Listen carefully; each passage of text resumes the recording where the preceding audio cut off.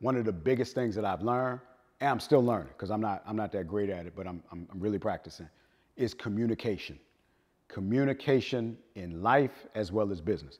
I did a short video on this the other day, but I want to kind of expand on it um, just to really put an explanation point on the importance of it, right? So we're talking about communication. Here's the thing early and often. Now, what does that mean? Um, opportunity, something happened, something broke, uh, team, you got to communicate early and often. So now here's what happens when you don't. Right? This this represents the beginning, meaning when you should have communicated something. So watch this. We were on a call doing a, a, a training call with a company the other day, and uh, we did a little bit of role play. And one of the role plays was um, I had the owner of the company do a role play with her executive assistant. And I said, there's a document that has to get out. It's got to get done immediately. Boom, boom, boom, boom, boom. And so she said it to the executive assistant and she did real fast, said it very high level, didn't give the assistant a whole lot of information, and the communication just broke down. So then I asked the uh, assistant, I said, What was that enough information for you? And she had this smile on her face and she was like, No, that definitely wasn't enough information. And I said, What more information do you need? And she kind of just went down and said, These are more of the things that I need to know. While, while she was doing that, I'm looking at the business owner, and the business owner got this look on her face like, oh my God, that's just too much. I got too much other stuff to do. Now I get that because I'm the same way. We got so much stuff to do that I ain't got time to be giving you all this information. However, it needs to happen because if I don't communicate or you don't communicate effectively and efficiently, we're liable to make, I'm gonna do it like this, I'm gonna put it right here, unforced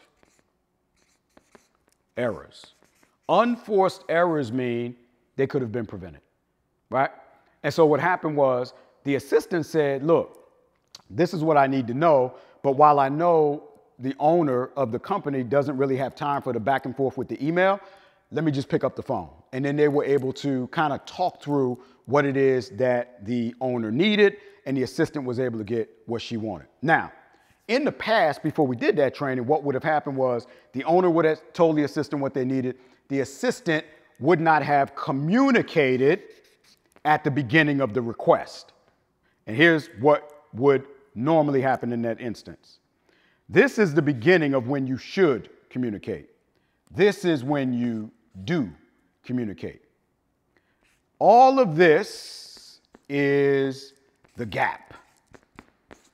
Now, there are a lot of things that happen inside the gap, right? Inside the gap of no communication, there is a misunderstandings happen, right?